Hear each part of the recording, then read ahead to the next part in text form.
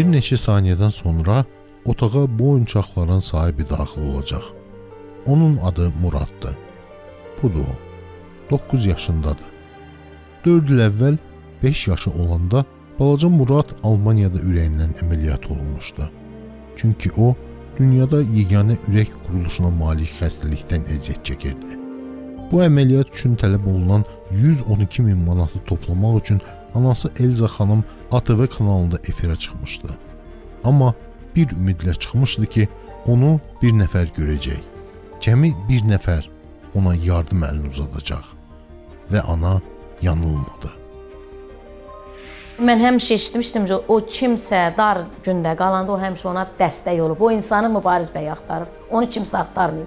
O ehtiyacı olan insanlar axtarıb.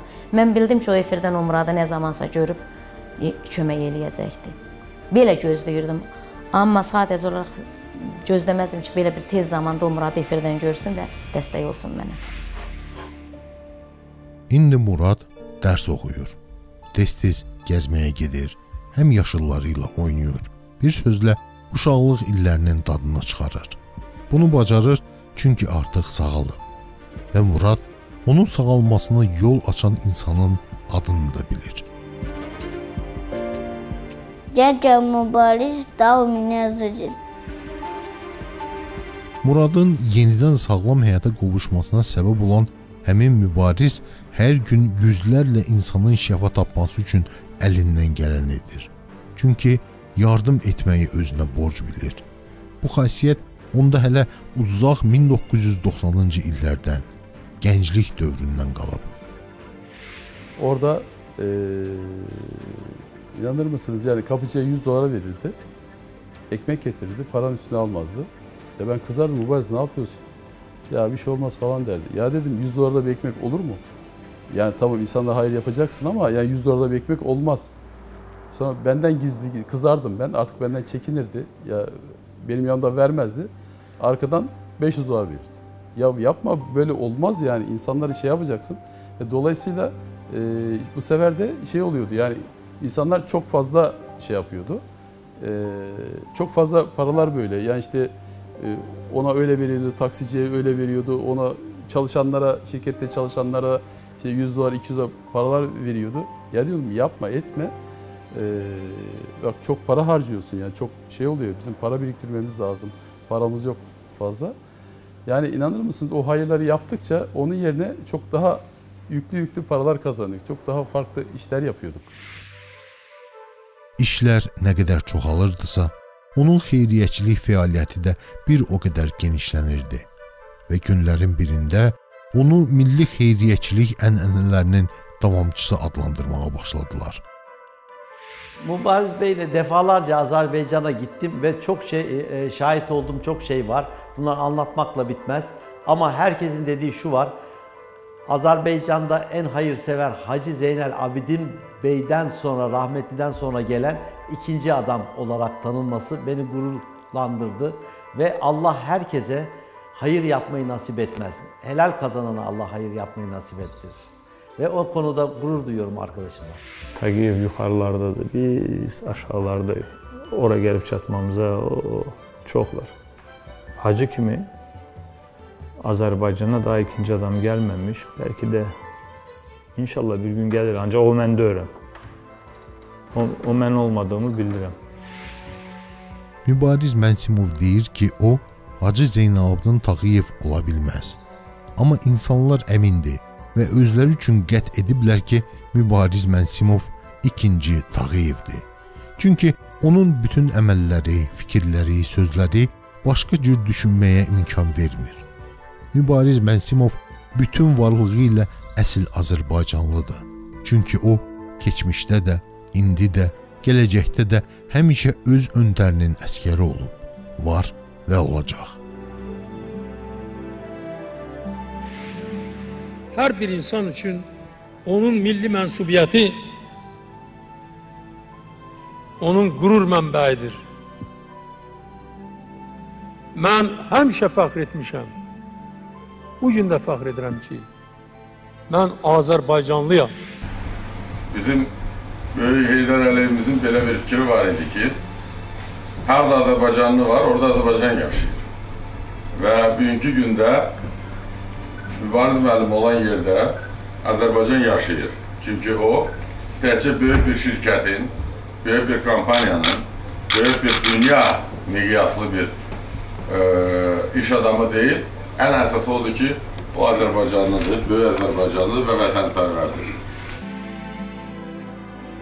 Mübariz Mənsimov üçün bu sözlər Azərbaycançılığın üstunudur. Onun xeyriyyətçiliyinin əsasında dayanan da məhz bu ideyalardır. Xocalı üçün paylaş kampaniyasına, Kocalı soykırımı sadece Azerbaycan'ın problemi değil. Bunu böyle düşünenler yanlış düşünüyor. Özbekistan'dan, Tacikistan'dan, e, yani bütün Türkiye, Yakustan'a bütün Türkler bunlara karşı elbir olması lazım. 8 noyabr Zəfər bayramına Türkiyənin nüfuzlu ictimai, elm və mədəniyyət xadimlərinin cəlb olunması Azərbaycan həqiqətlərini bütün dünyaya yaymaq, Türkiyə və Azərbaycan qardaşlığının möhkəmliyini göstərməkdir. İki devletiz, bir orduyuz. İnşallah irfan ordumuz da bir tane olacak. İktisadi ordumuz bir olmak yolundadır. Sözü ilə vətəni sevən, əməli ilə sözlərini sübut etməlidir. Mahmud ağa İsmailov Palmali şirkətində 18 il çalışıb. Gəmi kapitanından tutmuş Palmalidə İnsan Resursları Departamentinin rəhbəri vəzifəsinədək postlar tutub. Xatırlayır ki, 2003-cü ildə kapitanı olduğu Mirzağa Xəlilov quru yük gəmisi ilə Venesiyadan Gürcüstanın Poti limanına 1500 ton humanitar yük, un daşıyırdı. Yük nüfuzlu beynəlxalq təşkilat olan UNICEF-ə məxsus idi. Yükü göndərən tərəf məlum olsa da, yükü alanı tanımırdılar. Sifarişçi Mirzağa Xəlilov gəmisini elə bu xətt üzrə daimi işləməsini təklif etməklə bərabər gəlir baxımından da çox yaxşı şərtlər irəli sürür. Lakin gəminin sahibi Mübariz Mənsimov razılaşmır. Və bunun səbəbi də var idi. Dedi, yox qardaş, mən onu eləyə bilmərəm. Hələ bu 2002-ci il idi, 2003.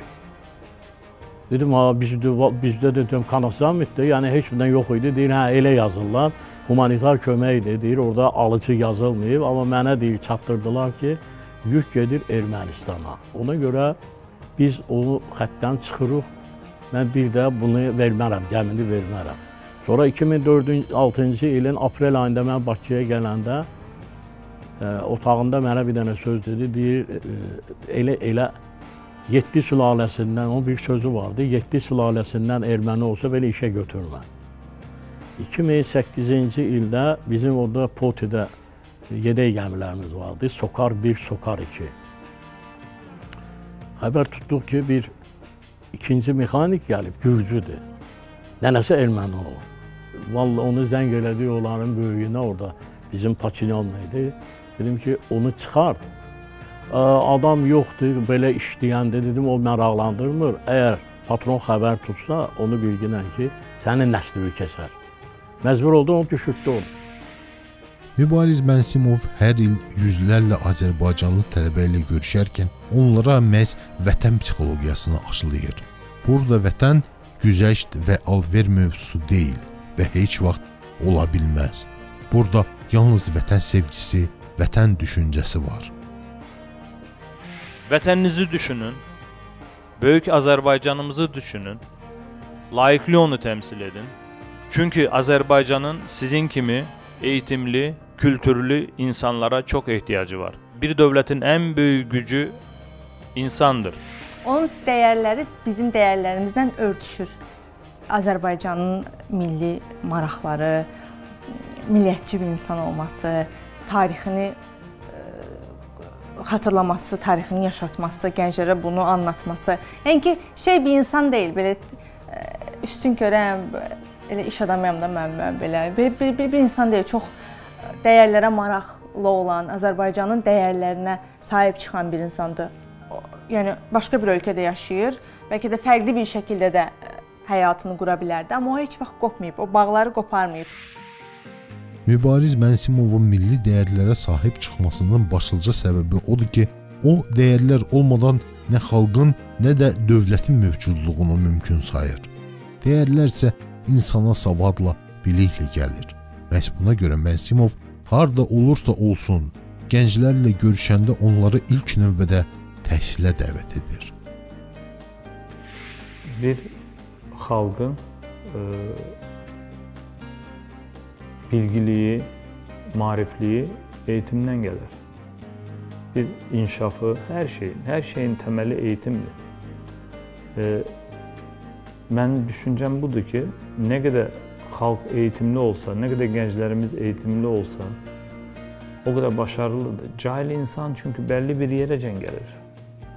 Cahillik e, topluluğu geri çəkən bir həmlədir. Bəlkə bəzilərinin xoşuna gəlməz dedim, ancaq eğitimli insanlar e, gələcəkdir, parıldaqdır. E, sadə bir şəklini deyim, yəni eğitimsiz insan harda duracağını veya nerede durmasını bilmez. Eğitimli insan en azından nerede ne yapacağını, ne edeceğini, nasıl danışacağını e, bilen insanlardır. İstanbulda təhsil alan Azərbaycanlı tələbələrdən ibarət Drone X komandası Bakıda keçirilən Texnofest 2022 festivalında və sonrakı yarışlarda qazandıqları uğurları ilə bu sözləri təsdiqlədi. Bu gənclər özlərini gələcəyin mütəxəssisləri kimi hazırlayır və bu yolda ən çətin sınaqlardan keçməkdə belə qərarlıdırlar. Belə bağlı texnologiyaları inkişaf elətdirməkdə, ümumiyyətlə hər hansı bir ARGE, araşdırma, gelişdirmə proyektində hər zaman yüksək büdcələrə ehtiyac olur. Bu yolda Palmali şirkəti, yəni Mübariz Mənsimov bizə büdcəsi olaraq, həm büdcəsi olaraq, həm maddi olaraq, həm mənəvi olaraq bir çox dəstək sağlayır. Yəni bu proyekti gerçəkləşdirməyimizdə, yəni bu proyekti ortaya çıxarmamızdakı maddi dəstəyin əsas qaynağı əslində Palmani şirkətindən gəlir. Dronex ekibinin Azerbaycan'dan geldiğini söylemekte fayda var. Dost ve kardeş ülke. İki devlet bir millet şiarıyla yıllardır kardeşlerimizle çok güzel işbirlikleri yapıyoruz ve Dronex'te performans ödülü kazanıyor. Lakin bütün bu uğurların arxasında qısa bir xatırlatma, tövsiyə, vətən çağırışı dayanır. Önəmli siz bir şeylər yapın. Azərbaycan üçün, Azərbaycan xalqı üçün. Azərbaycanın adını tanıtırsınız. Allah razı olsun sizlərdən. Azərbaycan xalqı çox maarif xalqdır. Çünki doğrudan da Azərbaycanda eğitim artıq gənclər geri baxsaz 20 il bundan ki qabaq gənclərdir.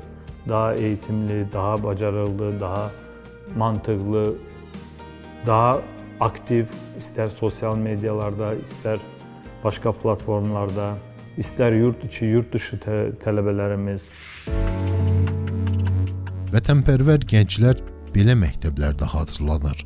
Bura İstanbuldakı milli qəhrəman Mübariz İbrahimovun adına məktəbdir. Yaxın keçmişə qədər məktəb az qalmışdı ki, fəaliyyətini dayandırsın. Müraciətlər, görüşlər, danışıqlar heç bir fayda vermirdi. Məsələ Mübariz Mənsimovun müdaxiləsindən sonra həllini tapdı. Onlara deyəndə ki, Mübariz Məsimov bizim məktəbi e, və sizi himayəyə götürəcək, mən uşaqların gözlərində elə bir sevinç parıltısı gördüm ki, e, bu həqiqətən də çox təsir edici məqam idi. Çünki bu bir ümiddir. Bu o demək idi ki, e, burada yaşayan Azərbaycanlılar, eyni zamanda şagirdlərimiz Mübariz Məsimovu bir Azərbaycan kimi görür. Yəni onun siması Azərbaycanın dəstəyini hiss edir.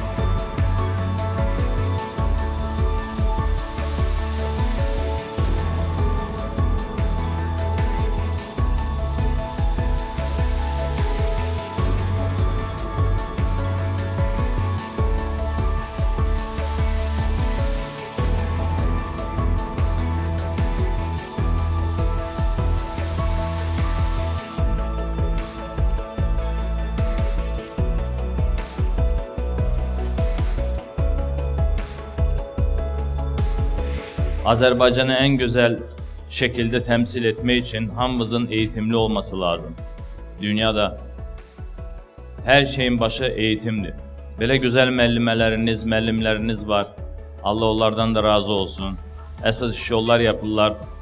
Öz çiyinlərində buracan gətirmişlər bu məktəbi. Tek-tek hamımızı təbrik edirəm, başarılar diləyirəm. E, demək istəyirəm ki, bundan sonra bəraberiz, hep beraber yürüyeceğiz. Hep yanınızdayız. Hamımızı tek-tek bağrıma basıp öpürəm. Allah sizə başarılar, xoşbəxtlik qismət etsin. Amma bu yeganə məktəb deyil ki, Mübariz Mənsimovun adı ilə bağlıdır. Türkiyənin Qars bölgəsi və Ərdahan vilayətində Azərbaycanın Masallı rayonundakı Miyankü kəndində onun inşa etdiyi məktəblər bu günə qədər fəaliyyət göstərir. Bunların divarları daxilində gələcəyin savadlı, bilikli kadrları yetişdirilir. Mübariz Mənsimov Azərbaycanlı tələbələrə dərs deyən müəllimlərin əllərindən öpməyi özünə borc bilir. Çünki o əllərin sahibləri bu insanlara gələcəyə aparan yolda addımlamağı öyrədirlər. Ramazan ayında iftar süfrələri açaraq bütün Azərbaycanlıları dəvət etmək də artıq Mübariz Mənsimovun təməlini qoyduğu bir ənənədir. Bu cür məclislər soydaşlarımıza bir olmağı, bərabər olmağı, insani münasibətləri daha da möhkəm etməyi öyrədir.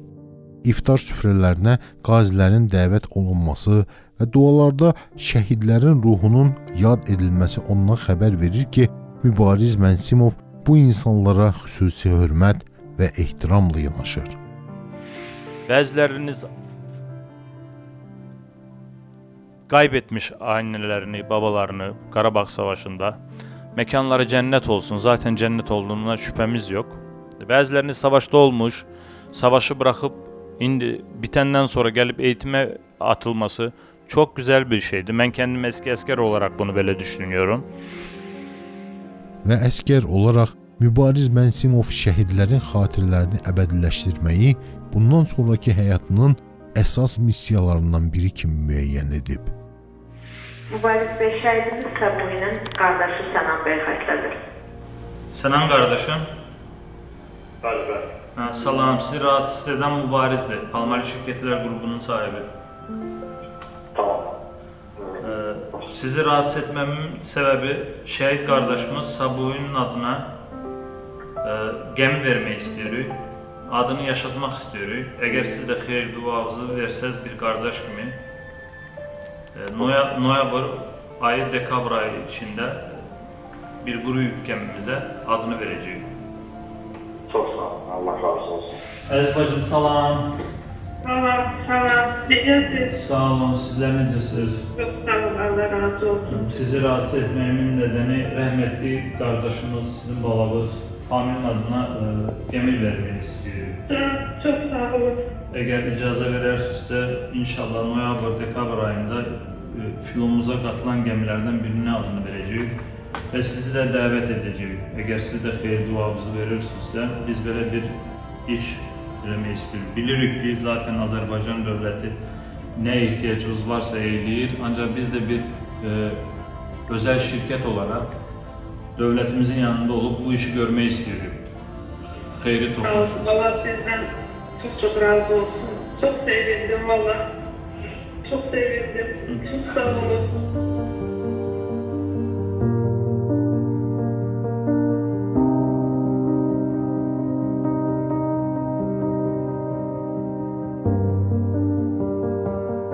Azərbaycan bayrağının dünya arenalarında, həm də 44 günlük müharibədə iştirak eləmişəm, xüsusilə də Zəngilan bölməsində və cənab prezident tərəfindən cəsur döyüşçü medalına təltif olunmuşam. Mən burada şəhid analarımızın, şəhid bacılarımızın, qardaşlarımızın qarşısında xüsusilə də onların qarşısında baş əyirəm. Həmişə mənim son nəfəsimə can çalışacağam ki, Azərbaycan bayrağının xüsusilə də dünya arenalarında bacardığım qədər layiqlicə təmsil edeyim. E, Mübariz müəllim xüsusilə qeyd etmək istəyirəm ki, həmişə şəhidlərimizin və qazilərimizin ailələrini yaxından izləyir və onlara diqqət göstərir. İlk növbədə Mübariz Məmməd dərin təşəkkürümü bildirirəm ki, həmişə millətimizin və xalqımızın sevəri kimi həmişə bizim millətimizin yanında olub.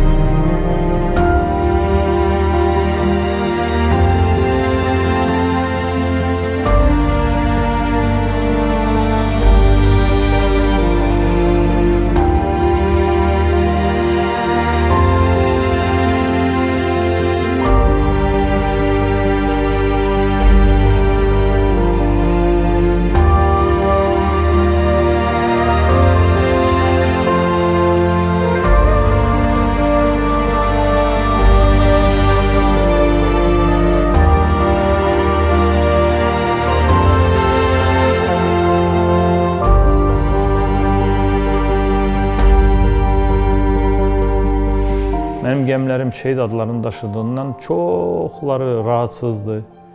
E, düşünün, bir bankada erməni işləyə bilir, bir limanda işləyə bilir, e, yəni hər şirkətdə işləyə bilir.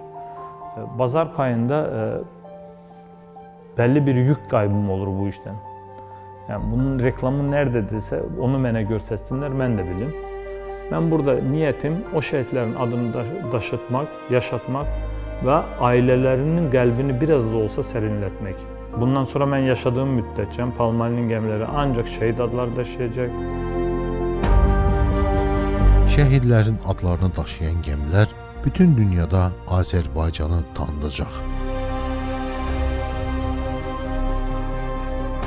Savadlı gənclərimiz Azərbaycanı yalnız Azərbaycanda deyil, eyni zamanda Azərbaycandan kənarda təmsil edərək beynəlxalq aləmdə ölkəmizin möhkəm dayaqlarını quracaqlar.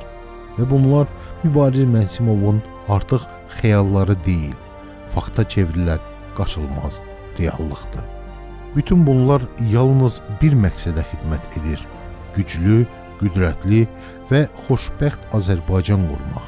Dünyanın hər bir yerində Azərbaycanı təmsil etmək və vətən çağıranda bir dəmir yumruqda birləşib prezidentin, Ali Baş Komandanın yanında olmaq. Bugün alnımız açıqdır. Bugün e, üzümüz gülür. Bugün başımız dikdir. Və həmişə belə olacaq. Mən tam əminəm ki, bundan sonra Azərbaycan xalqı müzəffər xalq kimi əbədi yaşayacaq. Azərbaycan dövləti qalib dövlət kimi əbədi yaşayacaq. Biz öz torpağımızdayıq bu torpaqda möhkəm dayanmışıq və heç kim heç vaxt bu torpaqlardan bizi tərpədə bilməz. Bu sözlərin arxasında həm də Azərbaycanın tarixi dayanır. Bu o tarixdir ki, bir xalqın qəhrəmanlığı, şücaəti, mərdliyi qanı ilə yazılıb. Bu o tarixdir ki, yeni nəsillər xoşbəxt gələcəyi qurmaq üçün onu mütləq öyrənməli və bilməlidir. Mübariz Mənsimovun elmin inkişafına, Azərbaycan xalqının tarixini dəqiqliyi ilə göstərən elmi əsərlərin çapına dəstək verməsinin kökündə bu niyyət dayanır. Neçə illərdir bu kitablar yığılıb qalmışdı. 2005-ci ildən artıq bunlar hazırdır. Amma gör neçə il keçib sponsor yox idi. Allah'a şükür Mübariz bəy bunlara əl qoydu və artıq əlimizdədir. Yəni Mübariz bəyin bu sahədə gördüyü işi zaman xalq öz dəyərini verəcək. Bu elə belə bir iş deyil. Mən bir 20-dən çox kitabım var. Onlar da pis kitab deyil. Amma bu ömrümü həsr elədiyim kitabdır. 9 cilddir. Mənim 5 nəvəm var. Mən bunları 6-cı nəvə hesab edirəm. Yəni o qədər doğma. Çünki üzərində əziyyət çəkmişəm. İllərlə əziyyət çəkmişəm. Ancaq o hissi keçirdirəm ki, nəvəmi aldım qucağıma.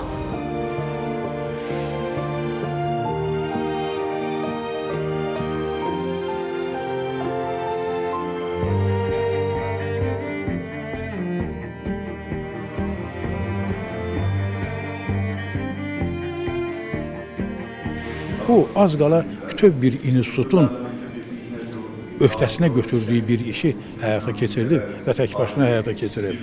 O həm alim kimi, həm dilçi kimi, həm tarixçi kimi, həm etnoqrafçı kimi bu əsərdə bütün yönləri ilə görünür və özünün bu əzəmətli əsəri ilə Azərbaycan xalqının tarixinə çox böyük bir töhfə verib. Və deyim ki, Mübariz Mənsimovun e, bu sahədə bu atdığı ilk addımdır. Xüsusən elm adamlarına, yazıçılara, tarixçilərə öz kitablarını Türkiyədə çap etdirmək üçün böyük köməkliklər göstərib. Bu da həmin köməklərdən biridir və layiqli köməyidir. Yəni doğrudan da bu Azərbaycan üçün, Azərbaycan xalqı üçün, Türk dünyası üçün tarixi bir gündə iştirak edirik biz. Çünki belə bir kitab bu cür e, toplu şəklində 9 cilddən ibarət kitab Azərbaycanda yazılmayıb və burada xüsusi qeyd olunur ki, İslama qədər türklərin tarixi bu kitabda arxiv sənədləri əsasında araşdırılıb və cəmiyyətə təqdim olunur. Ona görə də bugünkü hadisəni mən çox yüksək dəyərləndirirəm. Hesab edirəm ki, yəni bugünkü və gələcək nəsil üçün bu bir e, yol olacaqdır. Bu yolla biz millətimizin və dövlətçilik tariximizi öyrənə biləcəyik. Misir Mərdanov Mübariz Mənsimovu bu kitabdan əvvəl də tanıyıb. Hələ təhsil naziri olanda. O devirdə mən bilirdim ki, Türkiyədə təhsil alan yüzlərlə Azərbaycanlı gəncin hər bir problemini qarşılamağa Mübariz Mənsimov hazır olduğunu bildirmişdi. Yəni əslinə qalsa Mübariz Mənsimovun həyatı və bütün addımları e, hər bir Azərbaycanlı imkanlı adam üçün bir elə bir çağırışdır. E, çox təəssüf ki, o çağırışa bugün Azərbaycanda qoşulanlar çox azdır, barmaqla saymaq olar. Arzu edərdim ki, imkanı olan, imkanı olan insanlar Mübariz Mənsimovun e, dünənki və bugünkü hərəkətlərini nümunəyə götürsünlər.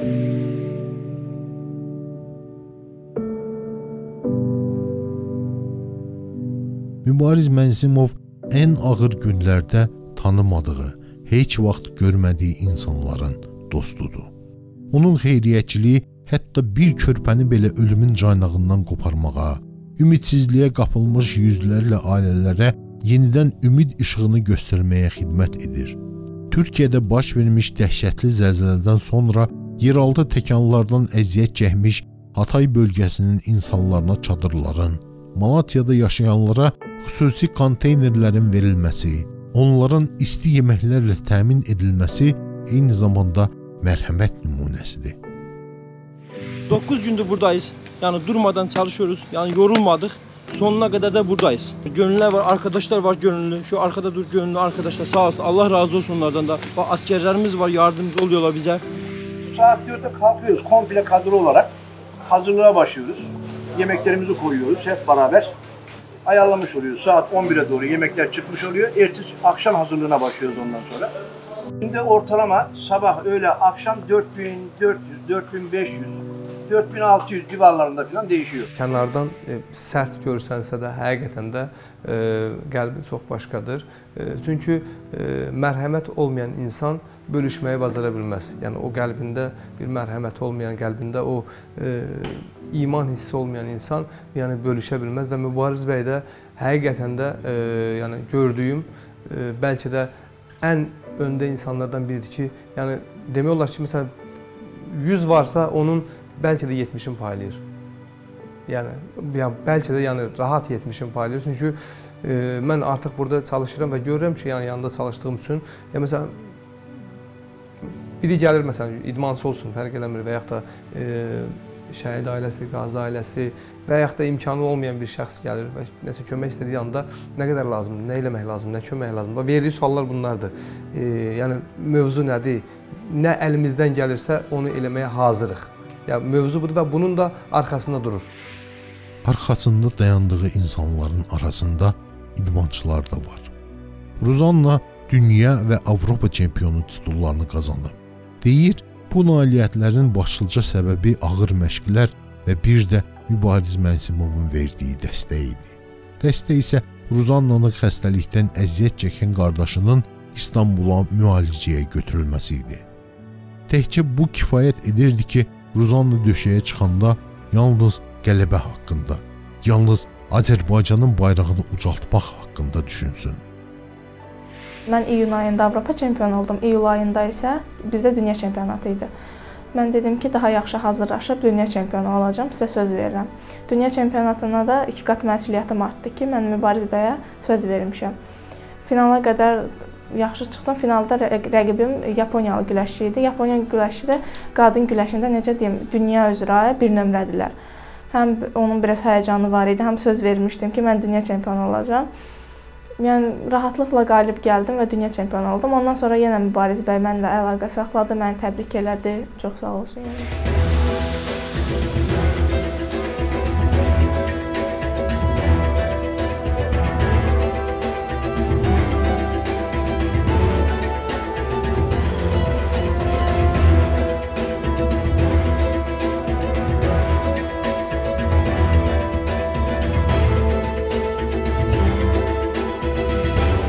İlk paylaşımı, yəni döyüş fotoğraflarını Mübariz bəy Rızadakı paylaşım etmişdi və yerdə mənə təbrik edirdi. Fərz həyatımda ilk dəfə idi ki, bir döyüşə oturub axıra qədər baxırdım. Bu da sərt döyüşlər oldu ki, yəni həqiqətən də bu döyüşü izlədim. Bu da mənim e, təbii ki, bir Mübariz Məsimov tərəfindən e, mənim döyüşüm həqiqətən də ilk dəfə olaraq izlənmişdi.